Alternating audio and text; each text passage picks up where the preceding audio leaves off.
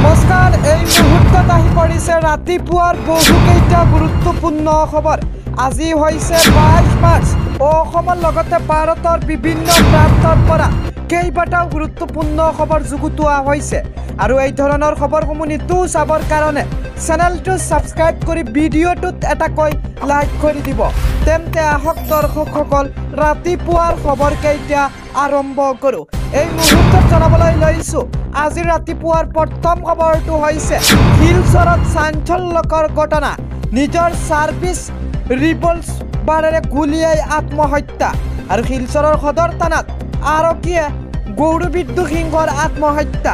শিলচৰ সদৰ থানাৰ নিজৰ চকীত বহি মূৰত গুলীয়াই আৰক্ষীজনে।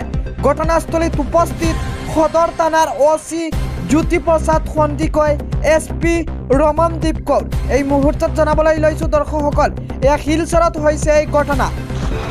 আজি ৰাতিপুৱাৰ পৰৱৰ্তী খবৰটো হৈছে দৰ্শকসকল মেট্ৰিক পৰীক্ষা দি গড়লৈ উভতি অহাৰ সময়ত ভয়ংকৰ পথ দুৰ্ঘটনা।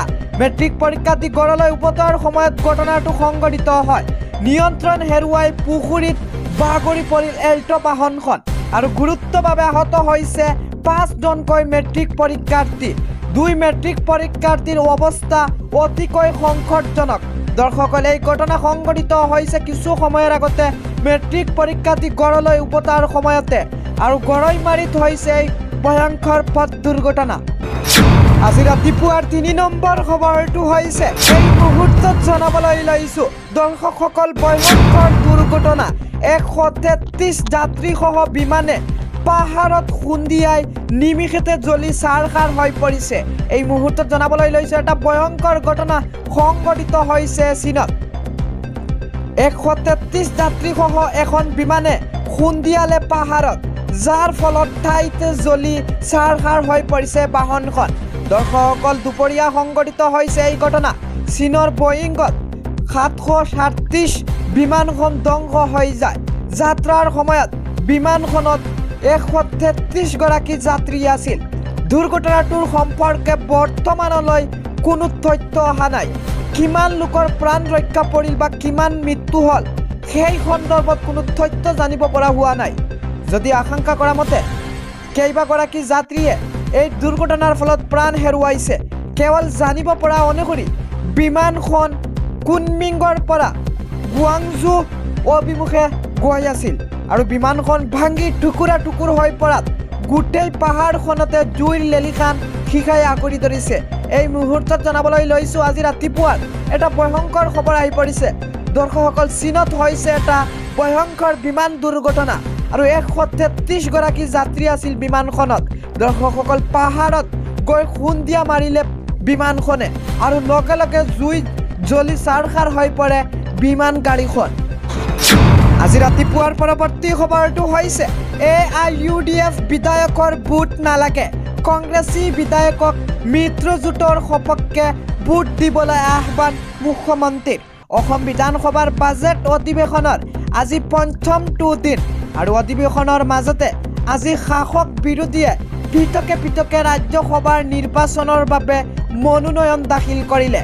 দৰ্শকসকল দুখন আসনৰ বাবে অহা একত্ৰিছ মাৰ্চত অনুষ্ঠিত হ'বলগীয়া নিৰ্বাচনৰ বাবে বিজেপি মিত্ৰজোঁটৰ দুয়োগৰাকী প্ৰাৰ্থী আৰু বিৰোধীৰ উমৈহতীয়া প্ৰাৰ্থী ৰিপুণ বৰাই মনোনয়ন দাখিল কৰে। আৰু প্ৰথমখন আসনৰ বাবে মিত্ৰজোঁটৰ প্ৰাৰ্থী পবিত্ৰ মাৰ্গেৰিটা আৰু দ্বিতীয়খন আসনৰ বাবে মিত্ৰজোঁটৰ প্ৰাৰ্থী ইউ পি পি এলৰ ৰৌনগুৰা নাৰ্জীয়ে মনোনয়ন দাখিল কৰিব। আৰু এই মনোনয়নৰ সময়ত মিত্ৰজোঁটৰ প্ৰাৰ্থী দুগৰাকীৰ লগত ৰাজ্যৰ মুখ্যমন্ত্ৰী হিমন্ত বিশ্ব শৰ্মা অগপৰ সভাপতি অতুল বৰা বিজেপিৰ সভাপতি Bhabesh Kalita U P P এলৰ সভাপতি তথা বি টি চিৰ প্ৰধান প্ৰমোদ বড়োৰ লগতে মন্ত্ৰী বিধায়কসকল উপস্থিত থাকে। আৰু মনোনয়ন দাখিলৰ পিছত মুখ্যমন্ত্ৰী ডক্টৰ হিমন্ত বিশ্ব শৰ্মাই বিৰোধীক সমালোচনা কৰি কয় বিজেপি মিত্ৰজোঁটৰ হৈ দুখন মনোনয়ন দাখিল কৰোঁ। আমি নিশ্চিত সময় বিধানসভাৰ বিধায়কসকলে দুয়োজনকে ভোট দিব দুয়োজনে জয় লাভ কৰিম।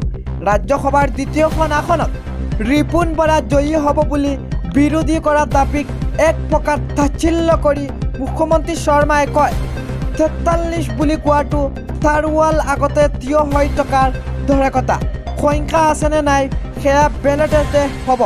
আৰু আনহাতে মিত্ৰজোঁটৰ দুয়োগৰাকী প্ৰাৰ্থীয়ে প্ৰতিগৰাকী বিধায়কক তামোল পাণলৈ ভোট দিবলৈ অনুৰোধ জনাব বুলি মুখ্যমন্ত্ৰী শৰ্মাই মন্তব্য কৰে। আজি ৰাতিপুৱাৰ আন এটা খবৰ হৈছে এই মুহূৰ্তত মিডিল অসমৰ দৰ্শকসকলক জনাবলৈ লৈছোঁ। দৰ্শকসকল ছয়চল্লিছ বছৰীয়া লম্পটৰ কামনাৰ বলি হৈছে এঘাৰ বছৰীয়া কিশোৰ এজনী।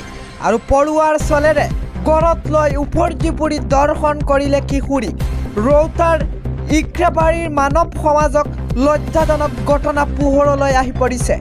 আব্দুৰ ৰহিম নামৰ এজন লোকৰ বিৰুদ্ধে দৰ্শনৰ অভিযোগ। যোৱা ওঠৰ মাৰ্চত টিপ্পিচৰা গাঁৱৰ আব্দুৰ ৰহিমে দৰ্শন কৰে কিশোৰী আৰু ঘটনা সন্দৰ্ভত লালপুৰ আৰক্ষী চকীত এজাহাৰ ভুক্তভোগী পৰিয়ালৰ আৰু ঘটনা সন্দৰ্ভত লালপুৰ আৰক্ষীয়ে এজাহাৰ দাখিল কৰা হৈছে আৰক্ষীত।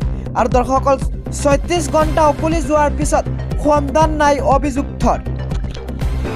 পৰৱৰ্তী খবৰটো হৈছে পূৰ্বতকৈ গড়ৰ সংখ্যা বৃদ্ধি পাইছে ৰাষ্ট্ৰীয় উদ্যানৰ। দৰ্শকৰ ৰাজ্যৰ মিনি কাজিৰঙা খ্যাত। এই ৰাষ্ট্ৰীয় উদ্যানখন হৈছে ওৰাং ৰাষ্ট্ৰীয় উদ্যান। আৰু ওৰাং ৰাষ্ট্ৰীয় ওৰাং ৰাষ্ট্ৰীয় উদ্যানখনত গড়ৰ সংখ্যা পূৰ্বতকৈ বৃদ্ধি পাইছে। দৰ্শকসকলে এই উদ্যানখনত আজিৰ দিনত সম্পূৰ্ণ হয় গড়ৰ পিয়ল। পিয়লৰ পাছতে পোহৰলৈ আহি পৰিছে এই তথ্য। পূৰ্বৰ তুলনাত ৰাষ্ট্ৰীয় উদ্যানখনত গড়ৰ সংখ্যা বৃদ্ধি পাইছে।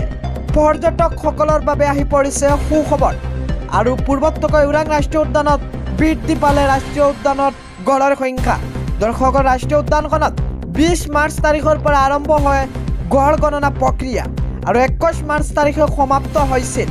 দৰ্শকসকল উদ্যানখনত ষোল্লটা ব্লকত হাতীৰ সহযোগত গড় গণনা কাৰ্য সম্পূৰ্ণ কৰি মুঠ এশ পঁচিছটা গড় গণনা কৰা হয়।